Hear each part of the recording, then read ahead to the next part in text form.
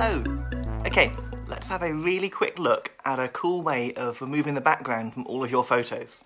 We used to use Photoshop to do this, but with Keynote and the new Instant Alpha feature, it's super quick and super easy. Here we go. So, first up, you want to insert your photo into Keynote. You might want to resize it to make it fill your page. When you've done that, press the Format Paintbrush tool on the top toolbar and go onto the Image tab. From here, you're looking to press Instant Alpha. Simply drag your finger over the background of the image and it will find anything of that colour and remove it to give you a transparent photograph.